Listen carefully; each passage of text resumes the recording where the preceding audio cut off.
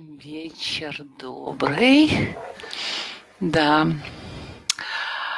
А вот смотрю потихонечку. А, включаемся в икра.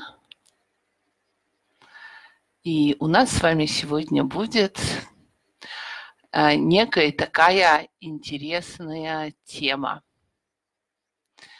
Тема у нас с вами будет сегодня про осла. Вот, кто-то уже пришел, включился. И еще раз повторю, что наша сегодняшняя тема про осла. Кто осел? Я начну, а, я надеюсь, что меня слышно. Все подтвердят. Жалко, когда урок пропадает из-за а, плохо работающего микрофона. Да. И я хочу начать урок а, совсем известного детского стишка Маршака. Слышно меня, да? А, желательно, если кто-то подтвердит, что слышно. Вот. Да. И начну с детского стишка Маршака. Мельник на ослике ехал верхом. Мальчик за, за мельником плелся пешком. Глянь-ка толкует досужий народ. Дедушка едет, а мальчик идет. Где это видано, где это слышно? Дедушка едет, а мальчик идет. Дедушка быстро слезает с седла, внука сажает верхом на осла. И что и вдогонку кричит пешеход. Маленький едет, а старый идет. Где это видано, где это слыхано. Маленький едет, а старый идет. Эм... Мельник и мальчик садятся вдвоем. Оба на ослике едут верхом. Фута смеется другой пешеход. Деда и внука скотина везет. Где это видано, где это слыхано. Деда и внука скотина везет. Дедушка с внуком плетутся пешком. Ослик на дедушке едет верхом. Тьфу ты хохочет народ у ворот. Старый осел молодого везет где это видано, где это слыхано. Старый осел молодого везет. В этом детском стишке заложено сразу несколько тем, на которые я хотела бы с вами поговорить и которые бы я хотела обсудить. Вы помните с вашего детства этот стишок? А на самом деле на основании этого стишка есть несколько хасидских э, сипурим, несколько хасидских рассказов, которые... Добрый вечер, добрый вечер всем. Э, которые обсуждаются и с такой стороны, и с такой стороны. И мусар, и хасидут из этого учатся. Очень важные вещи заложены, казалось бы, в простом детском э, стишке, даже который и не хасидский там, а из нашего простого детства, да. А, наверное, важно мне сказать, что самый первый грех в истории этого мира был совершен через речь. Его источником э, стали дьявольские слова змея, обращенные к доверчивой а, Хаве, которая ждала только Еве, да, которая ждала только самого хорошего. И вот э, в этом именном э, аморальном таком и коварном соблазне словами заключена вся опасность, которая есть в этом мире. Да? То есть неправильное а, использование речи, неправильно направленные слова могут привести в этот мир много э, непростых последствий.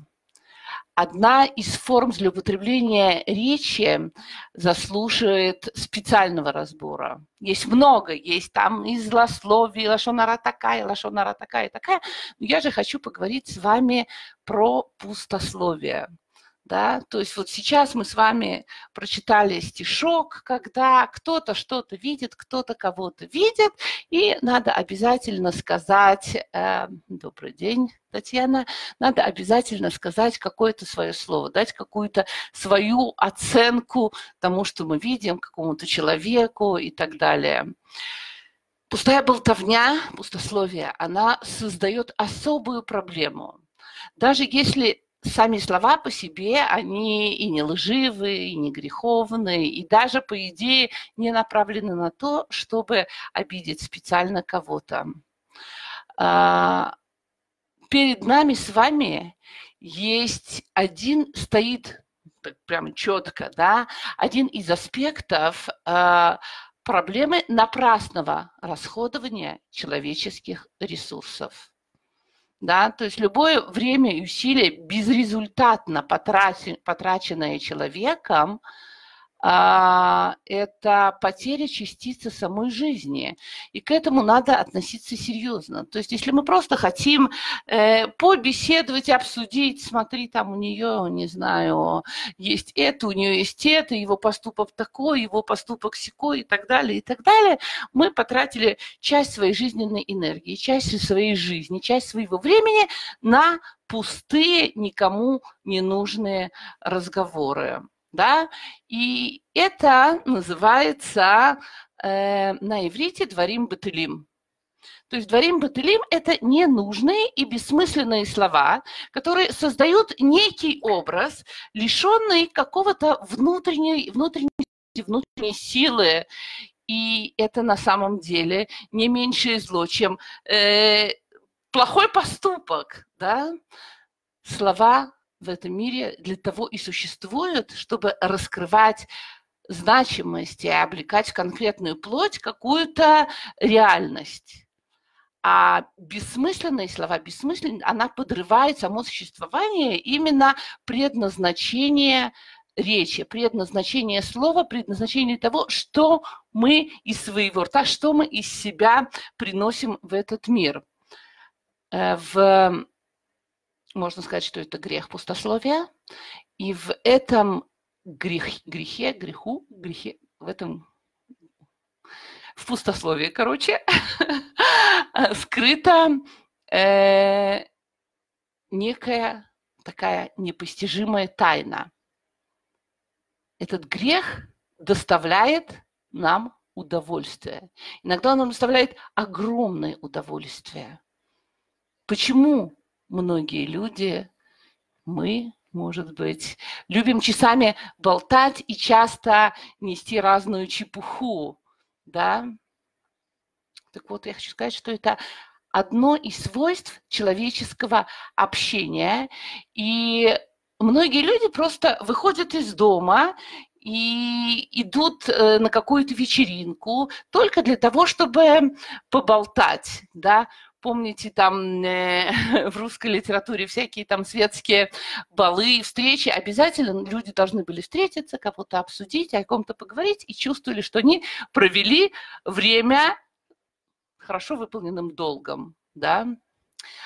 На самом деле это не только тогда, когда это было. У меня еще пару лет назад была в WhatsApp некая такая группа, я вообще занимаюсь шедухом, если вы знаете, да. Так вот, э, была специальная группа для шедуха, там собирали людей, которые интересовались проблемой шедуха. Но в той группе начали говорить на разные всякие темы. Я сказала, что не надо путать две разные вещи, и создала специальную группу, которая называлась «Болтушка». То есть то самое место, где люди могли просто общаться и говорить совершенно э, на те темы, которые они считали для себя нужным и важным. А, ну, конечно, я подразумевала, я думала, что там будут говорить на тему шедуха, на какие-то там важные к еврейству темы и так далее. В тот момент, когда я увидела, что это переросло в в пустые слова, да, и то я просто эту группу закрыла. Просто мне было жалко времени тех людей, которые туда заходят, хотя что-то увидеть и что-то услышать, и в результате тратят время а, совершенно, на мой взгляд, впустую. Да, потом кто-то там уже создал свою, но я, во всяком случае, к этому уже, слава богу, не имею отношения. А, надо понять, что речь то, что мы говорим, оно соединяет говорящего и слушающего, да? То есть если я хочу донести до вас что-то, я начинаю это говорить, и вы это слышите и воспринимаете это в себя. И интересна такая вещь, что функция речи, она аналогична чему?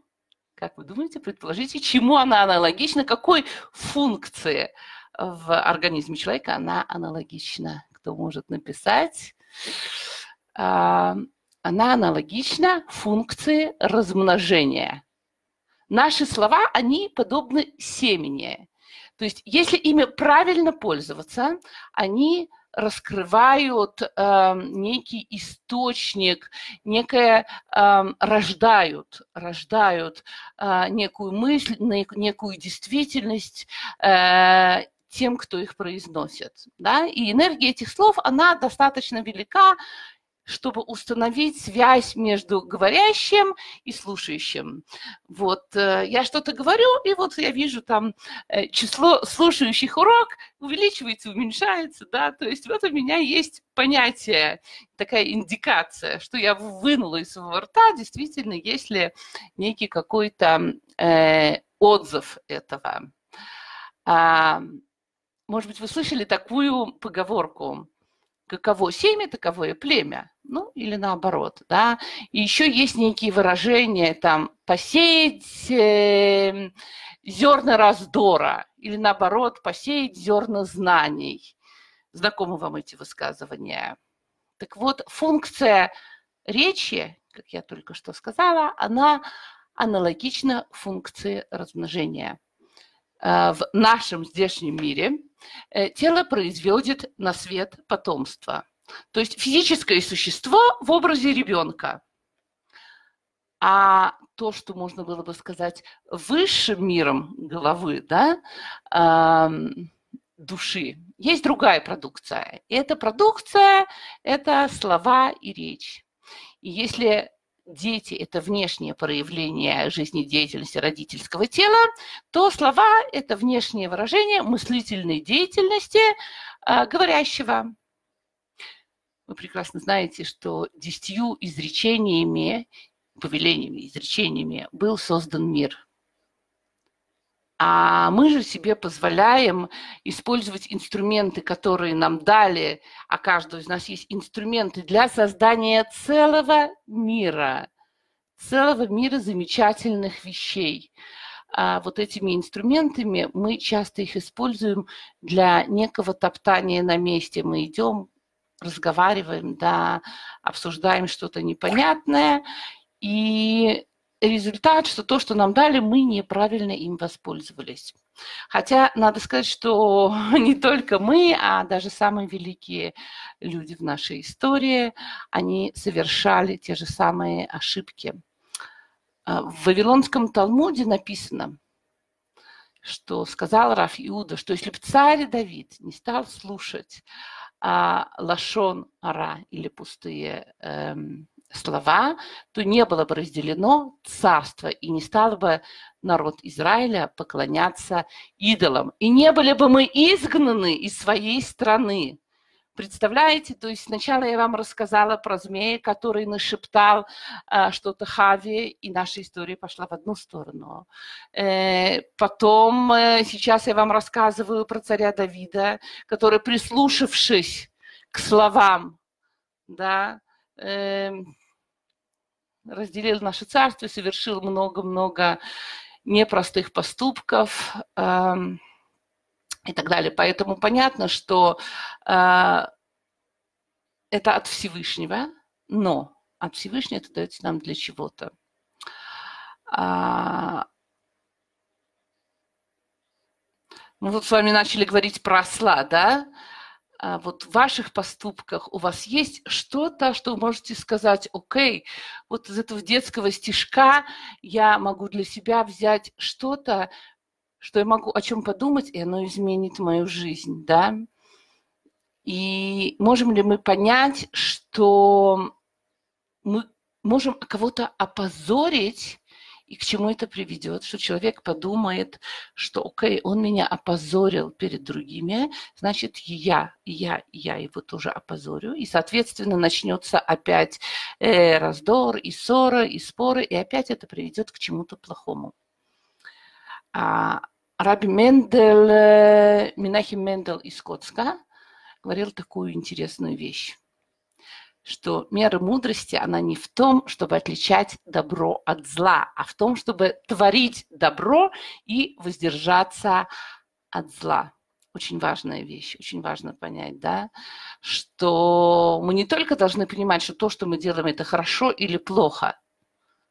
Мы должны понять, что зло, в принципе, мы должны от него отходить. То есть если мы знаем, что наши слова могут кого-то обидеть, могут сделать кому-то больно, да, мы должны просто от этого отойти. И тут я хотела, наверное, еще поговорить о том, что происходит с человеком, про которого говорят те или иные вещи, да. То есть мы сначала с вами поговорили том, что самому нехорошо говорить, а теперь надо понять, что происходит с человеком, про которого говорят вещи, которые его обеща, обижают или ставят в неудобное положение. И особенно если эти вещи, эти слова говорят э, при всех. Э, страшной и унижительной характеристики из э, уст, из, э, которые происходят от людей, которых мы любим и которым мы доверяем да, потому что их замечания, там, я не знаю, о внешности, о поведении, о наших поступках, они способны поселить в нас, с каждым из нас, страшнейшие комплексы, которые впоследствии будет очень трудно из себя вынуть. Но что нам делать, если мы люди впечатлительные, и чужое негативное мнение влия, влияет на нас, и, со, соответственно, э, мы начинаем каким-то образом действовать, что-то делать, да. Мы услышали, мы услышали, ну вот как в этом сказке, да, ну что же там, какой неприличный пожилой человек – да, сам едет на осле, а маленький ребенок идет. Или наоборот, какой невоспитанный мальчик, его дедушка идет. Ну и так далее, и так далее. Да, то есть каждый раз найдется кто-то очень добрый, который увидит в наших поступках что-то неправильное и нехорошее. Что нам делать с этим негативным мнением? Как нам с этим жить? Как от этого отталкиваться? Да. То есть, ну, первое и самое понятное, что я могу посоветовать, это стараться как можно меньше общаться с людьми, которые употребляют вот эм, добрые советы такие по поводу того, что вы делаете или не делаете, и как вы делаете, да. То есть, если там кто-то вам говорит, эм, ты такая толстая там, или худая, или неухоженная, или некрасивая, да, сами выберите, кому что говорят, да, поэтому тебе нужно. Вот момент, когда вам говорят «тебе нужно», надо всегда останавливать вот этого доброжелателя и сказать, что то, что мне нужно, я решу сам, да, а если тебе нужно, то ты сам и делай. И когда вы один, два или три раза скажете такое людям, которые вам советуют, в следующий раз им, наверное, очень не захочется э, советовать. Опять же, отвечать надо всегда очень вежливо, однозначно и, конечно, э, тоже не при всех, потому что нельзя, как я только что говорила, э, кого-то позорить при всех.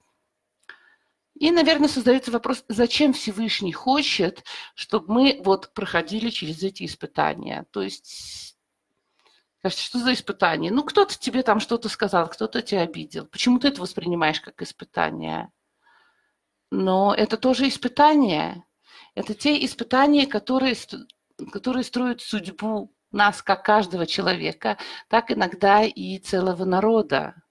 Так вот, испытание обычно дает нам Всевышний для того, чтобы вырастить нашу веру, укрепить и испытать нашу веру, чтобы наша вера во Всевышнего и иногда в себя, в свои возможности, чтобы она стала настолько ощутимой, а, чтобы мы смогли воочию увидеть любовь Всевышнего к нам, да, и в тот момент, когда мы понимаем, что все, что с нами происходит, все, что нам говорят, да, это любовь Всевышнего. Всевышний хочет увидеть, как мы поступим в ответ на те самые слова или, наоборот, на поступки другого человека. Всевышний поместил нас сейчас в эту самую ситуацию, там, где мы находимся, только для того, чтобы мы познали Его, Его милость и познали себя. Да? Что значит познали, познали Всевышнего? Познали Всевышнего – это значит, что мы должны сделать ему жилище тут, в этих нижних мирах, вот в этом мире, где мы находимся, вот на том самом месте, где мы находимся, да, то есть мы должны впустить туда Всевышнего, это наша задача. Произошло что-то не очень приятное, не очень хорошее по отношению к нам, или, не дай бог, мы что-то сделали, и тут мы должны остановиться и сказать, окей, а где во всем этом Всевышний? Соответственно, мы понимаем, что человек должен пройти через какое-то испытание. Испытание того, своих э, качеств, своего хорошего отношения к другим людям. А, что такое испытание, да? А, испытание – это значит, что мы, каждый из нас должен раскрыть, должен сам себе ну и Всевышнему, который нас сюда привел, да, не другу, не товарищу, не советнику, а у нас есть Всевышний и есть то, что каждый из нас должен совершить по отношению к семье, э, по отношению к себе. Мы должны раскрыть в себе внутри некие сокрытые и внутренние силы, которые до этого, до этой ситуации, происшедшей с нами, не были раскрыты. И вот раскрыть из того самого еще неизведанного, неизвестного нам места внутри души, а, раскрыть эти силы, чтобы выстоять и в этой трудной ситуации, и быть готовой к любым э, дальнейшим трудностям и так далее. И это называется э, выстоять в Нисайоне, выстоять в испытании, э, возвыситься – возвыситься, то есть поднять свою душу на более высокий уровень. И сказано, что кто мудр, кто выдержал испытание, человек, выдержал испытание, это значит мудрый человек. И не бывает, кстати, так, что мы замечаем что-то, какой-то поступок другого человека или какие-то слова или какую-то ситуацию, чтобы мы замечали ее просто так. А, есть притча об одном еврее, который, не очень умным евреем, который победил очень умного теолога э, в Испании. И тогда этот теолог говорит, что э, Бог бережет дурачков, наивных и простых и добрых. На что тот ему отвечает, что знай, что если ты вдруг увидел напротив себя дурачка, знай, что ты видишь свою проекцию. Это опять же к вопросу, кто осел, да? И вот мой как бы небольшой совет. Это отвернуться от зла и начать делать добро. И важно тут не перепутать, да, есть э, люди, которые говорят, надо бороться со злом, надо бороться со злом и привести в этот мир добро. Не надо ни с кем бороться. Не надо ни с кем бороться. То есть наша еврейская традиция учит, что у человека, который посвятил свою жизнь в борьбе со злом, не остается времени для добрых дел. Если мы будем постоянно с кем-то бороться и что-то делать, и есть несколько людей, которые мне говорят, ну это же нечестно, ну это же неправильно, это же нехорошо, надо доказать, надо показать, надо объяснить, надо, надо, надо, надо, а если мы это не объясним, то Говорит, кто-то вообще никогда не придет в Машиях. Почему? С чего ты решил? Нет, нет, не надо. Надо отвернуться от зла, отдалиться от зла и привести в свою жизнь э, хорошие поступки. Да? То есть, совершая добро, мы тем самым одерживаем победу над злом. И закончить я хочу вот нашу эту беседу а, некой истории, которая, на мой взгляд, лично мне, во всяком случае, она указала некий путь. Я надеюсь, что, может быть, и вы кто-то возьмете для себя что-то с этого э, поучительным. А секретарь предыдущего рэби, рэби Йосеф Ицхака, рэби Раяца, э, рассказал как-то такую историю что как-то однажды он зашел в кабинет к Рэби Йосефу Ицеку и обнаружил, что Рэби лежит на полу. Парализованный Рэби упал с инвалидного кресла и сломал себе руку. Настолько у него было тяжелое состояние, что это не позволило ему даже кричать, чтобы позвать на помощь. Но к, секре... к удивлению секретаря Ребе улыбался. И секретарь его спросил, я не понимаю, чему вы улыбаетесь, чему вы радуетесь. И Раби Йосиф Исак ответил ему, меня с самого утра мучило дурное предчувствие. И я боялся, что что-то должно случиться с моим народом, что-то должно случиться с евреями, что произойдет какое-то несчастье. А на самом деле я всего-то упал и сломал руку. Такое маленькое недоразумение. До следующей недели. Совет желаю вам, не советую, желаю. Желаю каждому найти свою дорогу, пройти свое испытание. И чтобы у вас была хорошая неделя, хороший шаббат. И до следующей встречи. Всего хорошего.